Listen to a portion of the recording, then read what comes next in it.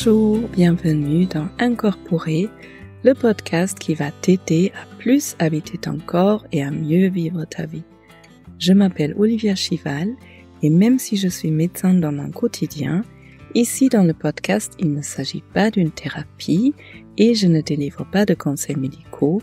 Il s'agit plutôt d'un espace dans lequel j'ai envie de partager des astuces, des idées, pour mettre en lien le corps et l'esprit, parce que notre corps, il est plein, plein de ressources, et aussi des propositions tout simplement pour que la vie devienne plus facile, plus douce, plus savoureuse et plus en lien avec toi-même et avec les autres. Bienvenue dans ce nouvel épisode dans lequel j'ai envie de te partager trois astuces pour une meilleure estime de soi, tout simplement aussi pour une meilleure relation avec soi-même, pour plus de confiance en toi-même. Et en fait, des fois, ou probablement même souvent, je fais ces épisodes, ce podcast, aussi pour me rappeler des choses qui sont importantes et que j'oublie de temps en temps ou que je laisse de côté. Et des fois, je me dis, tiens, si je fais un épisode podcast sur tel et tel thème, eh bien, ça va peut-être s'intégrer de nouveau un peu plus. Et aujourd'hui, c'est un jour comme ça.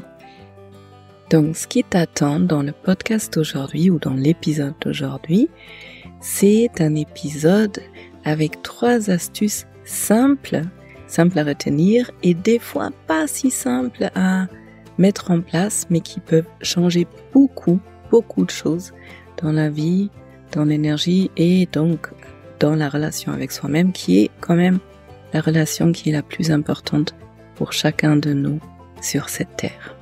Et avec tout ça dit, eh bien, c'est parti pour l'épisode.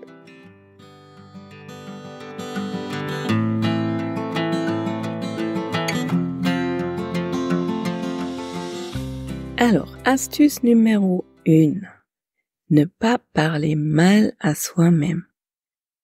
Ça semble très simple et c'est souvent pas si simple que ça parce qu'en fait on se parle toute la journée et le truc c'est que la plupart du temps on n'en est pas conscient et si on n'est pas conscient bah, c'est difficile aussi de se rendre compte de quelle façon on se parle les mots sont hyper puissants. C'est pas la première fois. Si tu écoutes ce podcast, c'est pas la première fois que je le dis. Donc, si tu écoutes ce podcast depuis un moment, tu m'as déjà entendu dire ça, que c'est super intéressant de s'écouter parler et de s'écouter parler à soi-même. C'est souvent, enfin, pour certaines personnes, ça peut être des mots dits à voix haute, mais ce sont souvent des pensées, du genre euh, je suis nul, je suis bête, oh là là, pourquoi tu as fait ceci ou cela, hmm, t'arrives pas, t'arrives toujours pas à être comme ci ou à faire cela. Je sais pas si ça vous parle, mais on est vraiment nombreux à se parler comme ça toute la journée. Et en fait, en hypnose, on pourrait dire et Tara Brach le dit aussi, on se met en transe avec nos mots. On vit, on crée notre propre transe.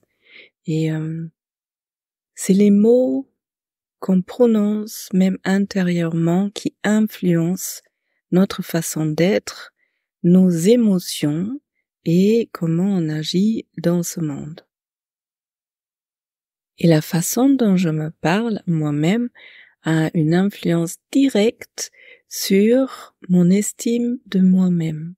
Parce que si je m'insulte toute la journée, eh bien, il est difficile d'avoir beaucoup d'estime pour moi-même ou autrement dit de tenir ou de reconnaître que j'ai une grande valeur.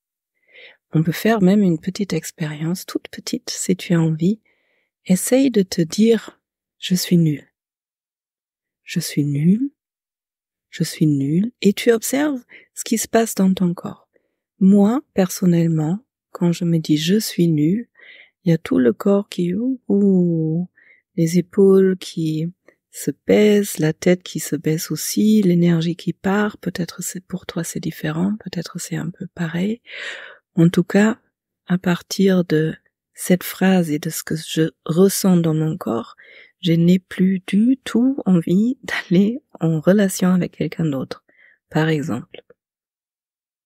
Puis prends une grande inspiration si tu as fait cette expérience avec moi, sors un peu de ces mots, tu peux secouer un peu ton corps, et puis essaye de te dire, je suis aimé, je suis aimé, je suis aimé.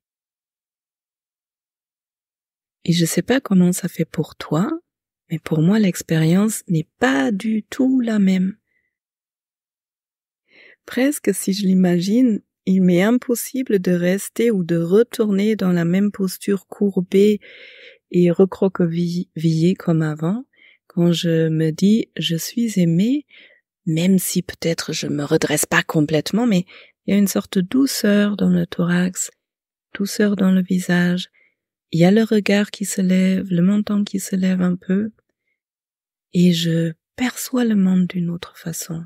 J'ai l'impression que le monde, il est, il est plus gentil avec Voilà, je sais pas comment ça fait pour toi, mais juste cette petite expérience pour démontrer que vraiment nos mots ont une influence directe sur nous. Et puis, un beau petit exercice c'est quand tu chopes une pensée que tu es en train de penser, parce que rien que ça, c'est pas évident. Souvent, comme j'ai dit au début, ça se passe de façon inconsciente. Donc déjà, la première étape, c'est de te rendre compte de ton discours intérieur envers toi-même. Et si tu as chopé une phrase envers toi, tu pourrais te demander, est-ce que je la dirais comme ça, sur ce même ton, à un être cher, à une amie, à un ami? Et si la réponse est oui, eh bien, si tu as une belle relation avec cette personne, c'est probablement que tu parles, tu te parles d'une façon bienveillante. Et si la réaction c'est ouh, mais jamais je dirais les choses comme ça à quelqu'un d'autre, eh bien, c'est peut-être un signe pour réévaluer ta façon à te parler. Voilà. Voilà, ça c'était astuce numéro une ne pas parler mal à soi, à soi-même. Astuce numéro 2, c'est ne pas parler mal de soi à quelqu'un d'autre. Parce que là aussi, on peut avoir des habitudes qu'on ne questionne pas et qu'on entend, qu'on ne voit même plus, qui peuvent surprendre d'autres personnes qui ne nous connaissent pas, mais les autres personnes ne vont pas forcément nous dire que c'est euh, un peu particulier dont on parle de soi-même. Et euh, des exemples sans se diminuer. Ça peut en effet être la même chose qu'on dit à soi-même, par exemple. Je peux aussi dire à quelqu'un d'autre, oh là là, comme je suis nul. Mais ça peut aussi être beaucoup plus subtil que ça. Par exemple, des étiquettes qu'on se donne, presque comme pour montrer à quelqu'un d'autre je suis d'une telle façon, et quand on questionne un peu cette étiquette, on se rend compte que hmm, pourquoi j'ai dit ça? C'est comme si ça figeait quelque chose dans cette étiquette. Par exemple, quelqu'un qui peut dire je suis quelqu'un qui est très lent à comprendre les choses. Ça peut sembler neutre comme ça, peut-être juste une explication à quelqu'un d'autre pour que l'autre personne euh, explique de façon un peu plus étouffée, prend un peu plus de temps pour que, enfin, pour montrer à l'autre, ben, des fois, il me faut un peu plus de temps pour comprendre. Et en même temps, si je formule ça comme ça, je suis quelqu'un qui met beaucoup de temps à comprendre les choses. C'est un peu comme si ça figeait les choses comme ça. C'est comme ça. Et ça ne peut pas évoluer. En tout cas, c'est le risque que mon propre inconscient entendent les choses comme ça. Autre exemple, quand je dis à quelqu'un, je suis toujours, je suis tout le temps, je suis toujours stressé. Ça n'ouvre pas de porte pour que ça puisse changer. C'est les choses sont comme ça. Je l'ai dit à quelqu'un d'autre, mais je l'entends en même temps. Enfin, mon inconscient entend les mots que je dis. Une autre façon de se diminuer face à quelqu'un d'autre, c'est de s'excuser trop. Alors, je ne dis absolument pas qu'il ne faut pas s'excuser quand on a fait une erreur. Au contraire, moi, je suis la première à dire, quand j'ai fait une erreur, je prends connaissance, enfin, je reconnais ça, je dis à l'autre que c'était de ma faute et je suis désolée pour ça et je prends responsabilité et du coup à partir de ce moment-là, eh ben je vais éviter de faire la même entre guillemets erreur ou faute en tout cas de changer dans le futur. Donc c'est ok de s'excuser, bien sûr, de prendre responsabilité pour mettre en place un changement pour le futur. Et en même temps, il y a des personnes qui, qui s'excusent toujours mille fois, qui disent même mille, mille excuses. Et souvent, je ne sais pas si vous connaissez des personnes comme ça, elles se rendent petites quand elles disent mille excuses, mille excuses, et souvent elles le répètent cinq, six, sept fois. Et elles se rendent toutes petites, le corps il devient plus petit, elles regardent le sol. Et euh, je sais pas si vous, ça vous est déjà arrivé, mais moi en face, je sais même plus quoi dire. Et par ailleurs, c'est souvent pour des choses pour lesquelles il n'y a aucune raison de s'excuser. Donc là aussi, écoutez ce que vous dites, dans quelles circonstances vous le dites. Est-ce que là, c'est vraiment un endroit où il faut s'excuser? Et si oui, de quelle façon vous le faites? Parce qu'en fait, ça sert à rien de s'excuser mille fois, de montrer à l'autre que oui, je me flagelle, c'était mauvais, mais du coup, de ne rien changer par rapport à ça. Je vois souvent ça. C'est comme si le fait de s'excuser était plus important que le changement du comportement.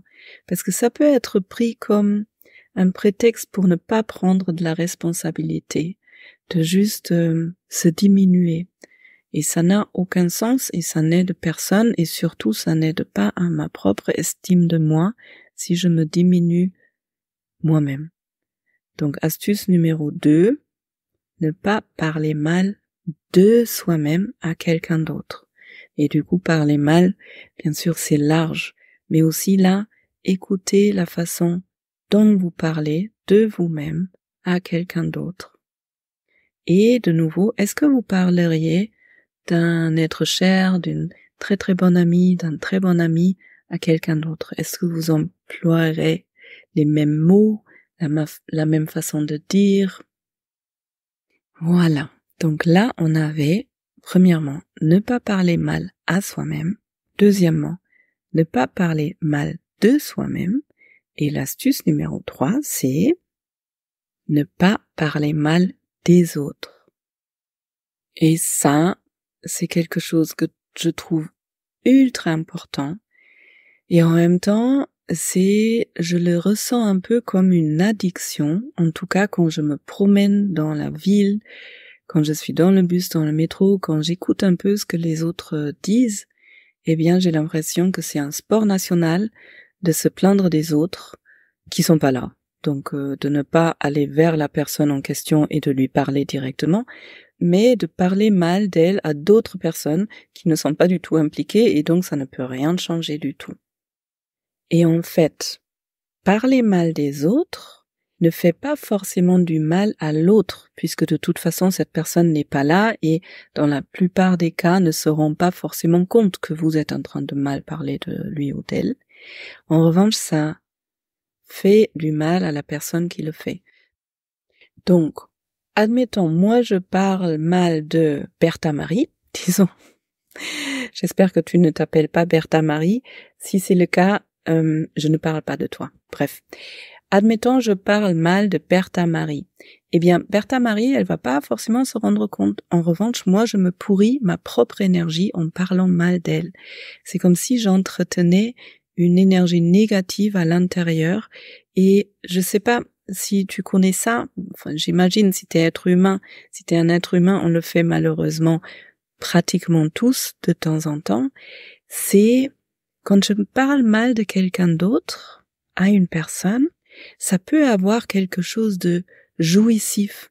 C'est un peu comme si j'entretenais un feu à l'intérieur de moi, mais c'est un, feu euh, qui est noir et qui amène pas forcément de la bonne chaleur image étrange qui m'est venue là avec ce feu. Mais euh, j'ai vraiment cette sensation que je peux me laisser entraîner dans ça assez facilement, comme si c'est quelque chose, comme si c'était une habitude de l'être humain qui qui est un peu normalisée et que tout le monde pratique plus ou moins et euh, c'est pas grave. Et d'ailleurs souvent on ne se rend pas compte qu'on est en train de parler mal de quelqu'un d'autre. Alors ici euh, je mets une petite nuance parce que il y a des personnes qui disent le mieux c'est de ne jamais parler d'une personne qui est pas dans la même pièce. Ça, c'est Bouddha. enfin, pour moi, il faut être Bouddha. C'est très beau, cette idée-là. Et si toi, t'arrives à le faire, ben, félicitations et chapeau. Et en même temps, des fois, je suis entre guillemets pas obligée de parler de quelqu'un d'autre en parlant de moi. Par exemple, je, je veux partager à une amie quelque chose qui était difficile pour moi, que j'ai vécu avec une autre personne, et je vais parler de cette personne et peut-être pas de la meilleure façon parce que j'ai vécu un truc vraiment violent, par exemple, qui venait de cette personne-là. Là, moi, personnellement, je fais une petite nuance.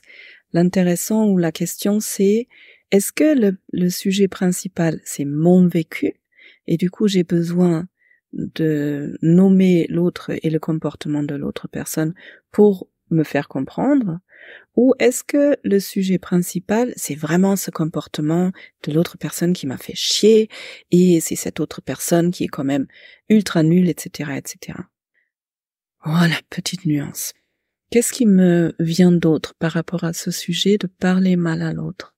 C'est que la violence, elle commence dans les pensées parce que parce qu'il est bien beau, enfin, c'est déjà bien de s'empêcher de dire des choses blessantes à quelqu'un d'autre, et en même temps, si je les pense, ça commence déjà là, déjà avant les mots. Et si je pense de quelqu'un hmm, qu'il est incapable, disons, eh ben, si je suis avec cette personne directement, elle va le ressentir. Parce que mes pensées, toujours la même chose, ont une influence sur mes émotions, sur mon corps, sur ma façon d'être, sur ma façon de me comporter. Et quand je suis avec cette personne-là, si j'ai la pensée, oh là là, vraiment, franchement, celle, celle-là, elle est incapable, ma façon d'agir avec cette personne va être différente que si je ne me dis rien. Ou si je me dis quelque chose au moins où il y a une ouverture, oui, cette personne, elle est en train d'apprendre quelque chose. Ou pour revenir à cette, euh, hmm, cet épisode avec les stratégies adaptatives, eh ben, hmm, elle a, elle a telle et telle stratégie. Ok, ça a dû lui, ça a dû l'aider à un moment donné.